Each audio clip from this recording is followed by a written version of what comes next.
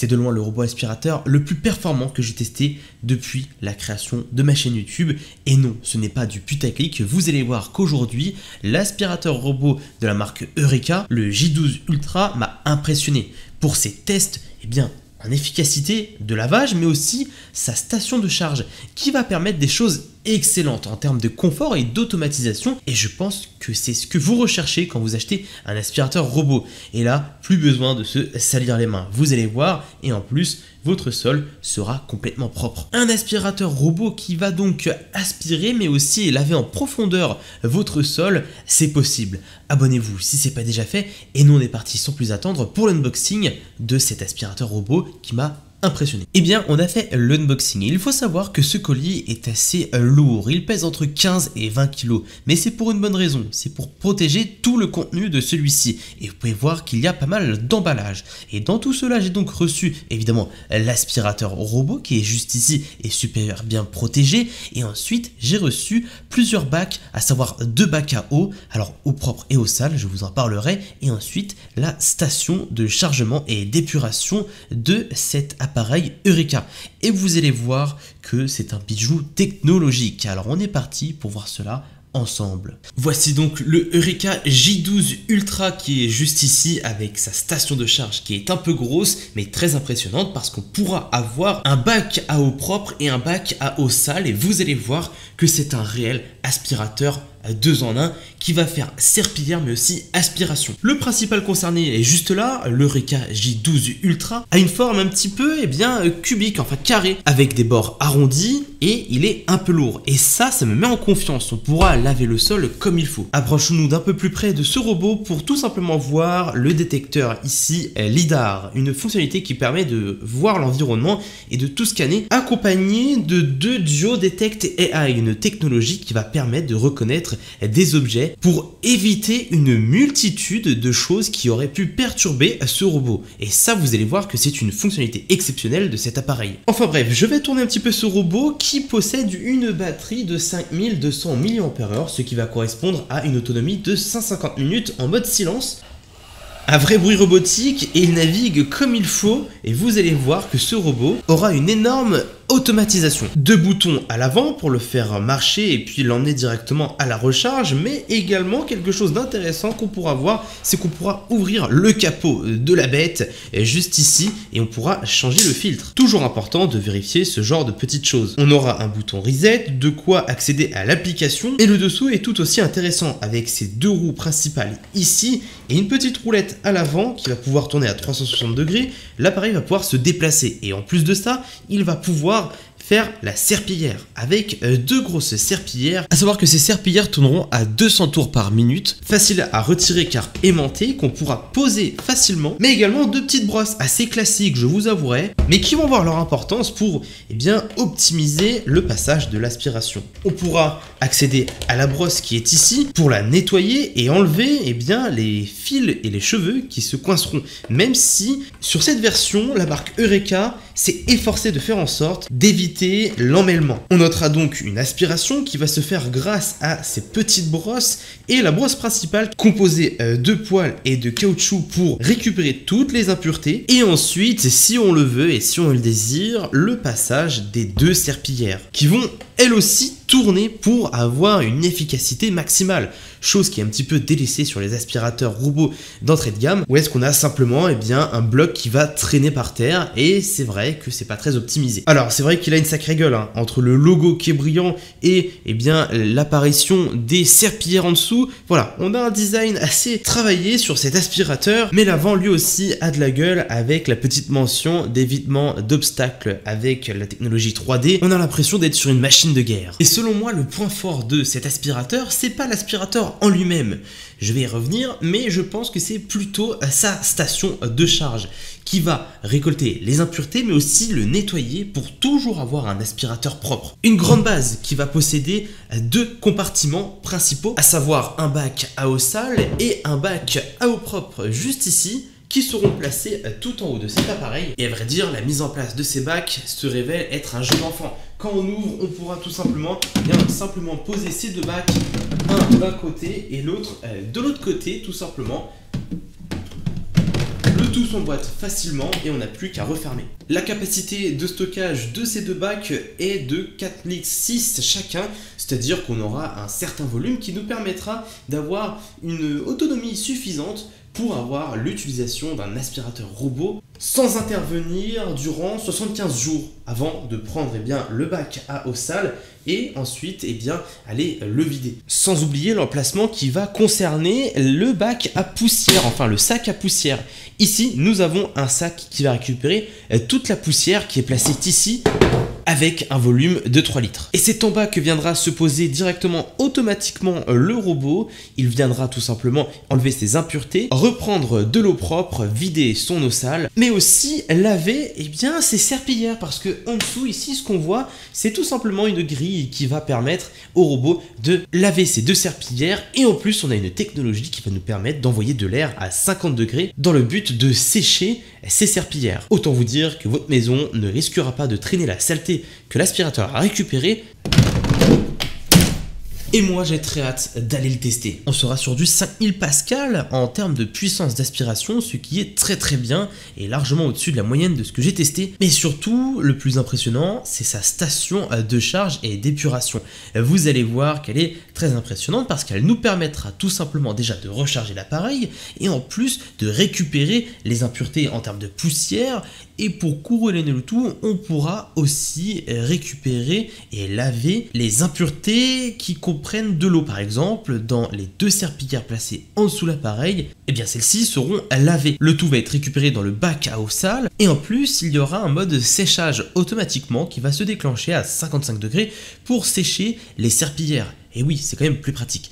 Bref, on est parti pour le mettre en route. Alors pour cela, c'est très simple. J'ai tout simplement eh bien, installé le tout, j'ai branché tout simplement l'aspirateur, je l'ai chargé un petit peu et ensuite j'ai tout simplement téléchargé l'application. Ensuite, j'ai fait eh bien l'appareillage et j'ai fait tout simplement le jumelage des appareils pour pouvoir connecter le tout à mon téléphone. Attention, c'est un réseau 2,4 GHz qui est requis. Moi, ça a été fait automatiquement, donc aucun souci sur cela. Et ensuite, sur l'application Eureka, on aura des choses très intéressantes. Et la première chose à faire avec l'appareil, c'est tout simplement le laisser prendre un petit peu connaissance des lieux pour qu'il puisse en faire une map, donc une carte. Et regardez sur l'application, je peux tout simplement cliquer sur ce bouton et faire continue pour que l'appareil fasse un petit tour de repérage et vous allez voir que ce sera pas mal pour pouvoir bien voir comment est foutu ma pièce. Le robot fait connaissance avec le lieu et l'environnement pour pouvoir tout simplement analyser tout cela. La cartographie commence et on peut le voir sur mon téléphone, des pixels apparaissent et il est en train de tout scanner. Et voilà, il s'arrête juste avant et ça c'est assez fou. Et il est parti. Il est en train de voir tout l'environnement pour pouvoir en faire une cartographie. Il va éviter les obstacles comme par exemple les fils. Et ça, il y en a beaucoup chez moi. Alors il faut qu'il fasse attention à ça. Voilà, là il esquive totalement les fils et ça c'est assez incroyable. La cartographie s'est faite dans mon appartement et on peut voir qu'il y a la table ici, et ici la chaise gaming, et également tous les endroits où est-ce qu'il n'a pas accès. Ici il y a l'entrée et la cuisine, et on peut voir que bah, c'est bien fait. C'est très très bien fait même. J'aurai donc 17 mètres carrés à laver et au moins on est prêt pour faire un premier nettoyage. Et il est quand même en train bah, de se nettoyer, hein. j'entends tout le bruit du mécanisme et ça va, c'est pas non plus euh, trop désagréable pour le moment. Et là, il ressort. Il est parti pour sa première aspiration et voyons voir ce que ça donne. Il va évidemment longer eh bien, tous les meubles et faire en sorte de passer l'aspirateur au mieux. Ici, il va faire eh bien, jusqu'au bord de ma chaise, tourner tout autour sans être bloqué. Voici concrètement des obstacles. Là, les fils sont des réels obstacles et on peut voir que le robot fait très attention grâce à sa détection laser 3D. Il va également passer la serpillière, on peut voir que c'est humide et on analysera ensemble eh bien, si le tout a été fait proprement ou non. Chose très intéressante à voir, c'est que l'aspiration se fait avant et eh bien, tout simplement la serpillière et ça c'est très utile. Il va donc déjà faire une première zone, mais logiquement il devrait revenir nettoyer tout simplement ses serpillères avant de terminer l'entièreté de la map qu'il a scannée, à savoir mon salon et ma cuisine.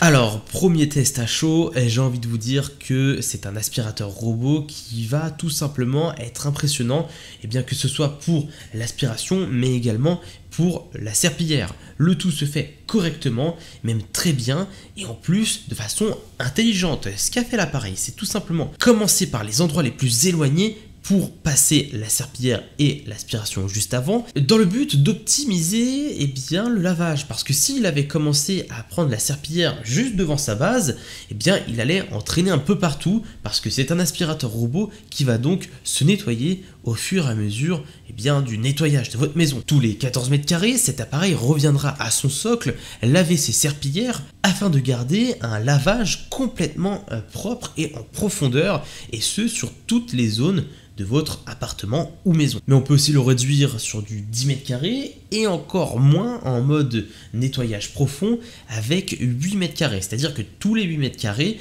l'appareil va revenir sur son socle, nettoyer eh bien, ces deux petites pour ensuite repartir encore plus propre qu'avant. Ce qui est très intéressant également sur cet appareil, c'est le duo Detect AI qui va reconnaître l'endroit de nettoyage, éviter les obstacles, peu importe la luminosité, et il va aussi reconnaître les animaux. Donc c'est un, une reconnaissance active. S'il y a quelque chose qui bouge, donc un chat ou un enfant, eh bien l'appareil va reconnaître que c'est quelqu'un qui bouge, un être vivant. Et donc il ne va pas prendre ça pour acquis, il va se dire ok donc là il est là, il bouge, après je refais cette zone et ça fonctionne très bien. Alors maintenant, je vais vous parler de l'application qui est très intéressante parce que là, bon, je vous spoil un petit peu, mais du coup, ici, j'ai mon passage. Le passage que j'ai fait eh bien, dans, la dans la pièce principale de mon appartement. Et on peut voir que le tout s'est fait très efficacement. Il a seulement été bloqué dans le fond de mon appartement parce que, en réalité, il y avait des choses, à savoir une chaise gaming qui est bien visible sur la map, mais en tout cas, ce qui va être très intéressant, eh bien, ce sont les autres choses supplémentaires. Alors, il faut savoir qu'ici, c'est un tapis. Il a donc esquivé le tapis durant son nettoyage, et ça, c'est très intéressant à retenir. Et ensuite, on pourra par exemple cliquer ici pour avoir différents modes. Il faut savoir qu'on peut euh, l'autoriser ou non à passer sur les tapis. Ici par exemple, le robot sera focus sur l'aspiration euh, du sol. Ici, l'appareil sera focus sur la serpillière au sol. Et le dernier mode, c'est par exemple, eh bien, se concentrer sur l'aspiration d'abord et ensuite se concentrer sur la serpillière au sol. On a différents modes de puissance, à savoir que moi durant toute la vidéo j'étais sur standard et c'était très bien, mais on peut aller à fond avec le mode turbo. Il faut savoir qu'au niveau du bruit, j'ai pas ressenti euh, de bruit. Je dirais même que c'est quelque chose de silencieux comme appareil. Pour en avoir testé des appareils euh, robots aspirateurs, celui-ci est vachement silencieux. Et en plus de ça, alors on a une petite donnée qui est intéressante, c'est que on aura jusqu'à 68 décibels en termes de bruit. Alors je trouve que eh bien ça va. Et là, c'est ce que je vous disais. Je peux tout simplement ajuster eh bien, le nombre euh, d'allers-retours que ce petit robot va faire pour aller se euh, laver eh bien, euh, tout simplement. Mais on aura aussi plus de données en cliquant sur les trois petits points et ensuite par exemple en changeant la voix, voix qui est très belle et très appréciable. Et c'est pas souvent sur les appareils euh, robots aspirateurs que la voix est euh, vachement bien faite. Et là elle est super bien faite, pas trop forte, bien euh, distincte, même si c'est en anglais et que je parle français, c'est bien foutu. Et ensuite on aura d'autres options pour le robot et on pourra si on veut planifier eh bien, des nettoyages. Alors je pourrais créer une petite zone et par exemple dire que ça commence à heure, voilà, tel jour, et ça nous permettra de programmer tout cela. il faut savoir que ce robot a du coup scanné ma pièce principale de mon appartement et je peux ensuite modifier si je le veux et avoir un retour sur... Et voici la map qui a été réalisée quand l'appareil a scanné tout simplement eh ma, ma pièce principale de mon appartement. Nous avons aussi les paramètres de la station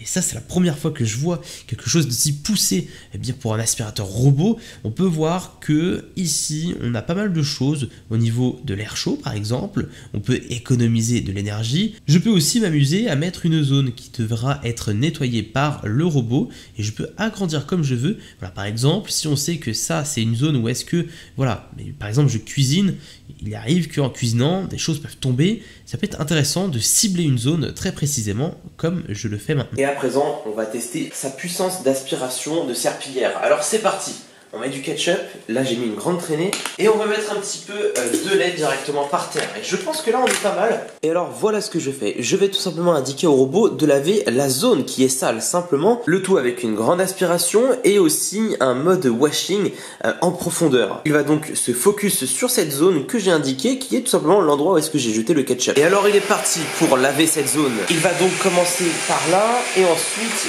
il va tout simplement tout aspirer. Voilà, il va faire attention au tapis. Il a bien détecté qu'il y avait un tapis. Il va simplement le contourner. Vous pouvez voir, il fait tout le contour sans aller dessus.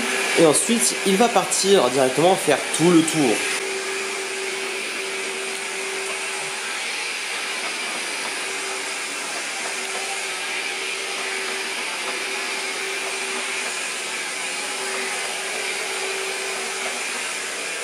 Et là, il est parti pour retourner à sa base pour se nettoyer et se recharger.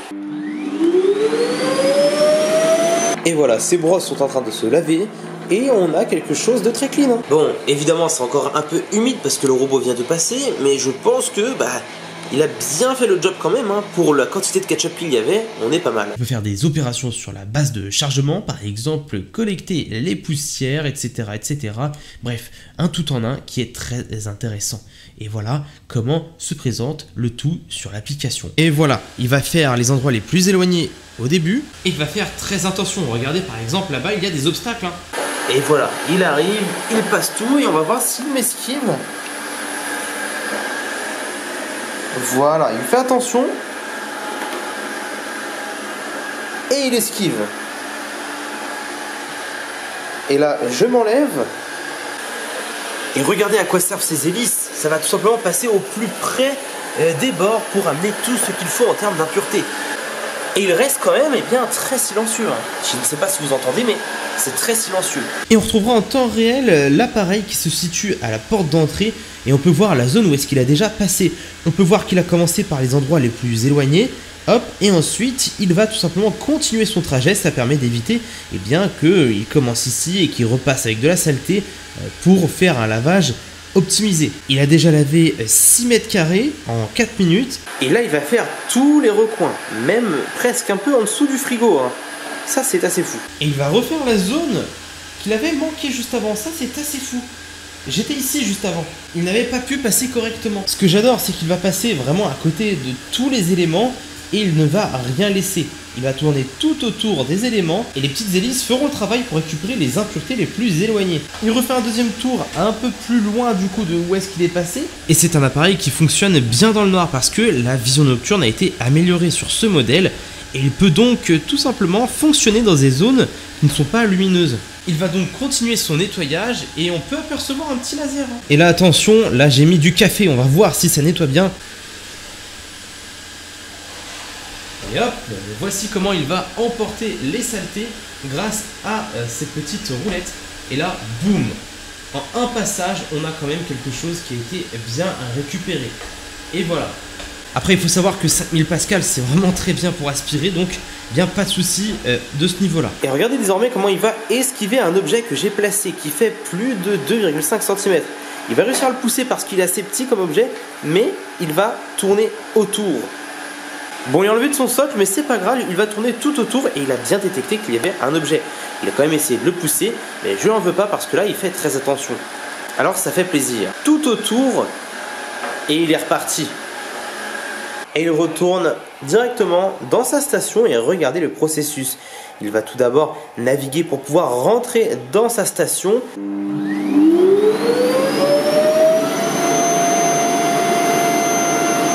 Il y a eu l'aspiration des poussières et là c'est l'eau qui se change et également la serpillière, enfin les serpillères qui se lavent.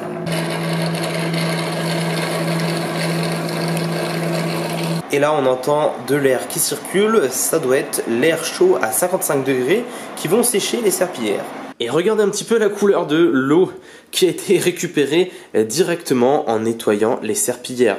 C'est vrai que là, on a quand même quelque chose de sale. Hein. Pourtant, bah, j'avais fait le ménage il n'y a pas si longtemps que ça et j'avais passé l'aspirateur quelques heures avant. Mais, mais force est de constater qu'il y a toujours à faire. Une autre trouble qui ne me rassure pas, pourtant j'avais bien et bien passé tout simplement à l'aspirateur. Vous l'avez vu comme moi, l'aspirateur robot Eureka J12 Ultra est une pépite et même un bijou technologique parce que il a combiné le côté pratique d'avoir un aspirateur robot, c'est-à-dire une automatisation du ménage, mais aussi l'efficacité, le côté efficace avec des nettoyages en profondeur intelligent parce que c'est bien beau d'avoir une grande rotation par minute sur les brosses et aussi avoir beaucoup de Pascal, mais finalement, si le tout est mal paramétré, qu'il ne détecte pas les obstacles et qu'il fait le tout eh bien, sans trop réfléchir à comment le faire, ça perd vraiment en efficacité. Et là, le gros avantage de cet appareil, c'est qu'il va revenir fréquemment à sa base, nettoyer en permanence ses serpillères pour toujours nettoyer le tout avec un outil propre ça ne vous viendrait pas à l'idée d'aller passer un coup de serpillière avec une serpillière déjà utilisée. Voilà, c'est comme ça qu'il faut voir la chose. Et je vous invite à aller voir en description, il y aura le lien de ce robot et vous verrez son prix. Alors peut-être que ça va vous faire grincer les dents, mais ce que je peux vous dire, c'est que là, je songe vraiment à passer l'aspirateur seulement quelques fois et pas très souvent parce qu'à chaque fois que je reçois un aspirateur robot, euh, je me dis que c'est toujours euh, plus simple et moins contraignant de le faire directement avec un aspirateur à la main. Mais là, franchement, on a un aspirateur 2 euh, en 1 très performant et surtout intelligent. Je vous laisse aller voir ça en description. Je vous invite à vous abonner à ma chaîne YouTube si ce n'est pas déjà fait. Et nous on se retrouve à la prochaine pour une nouvelle vidéo. C'était JX.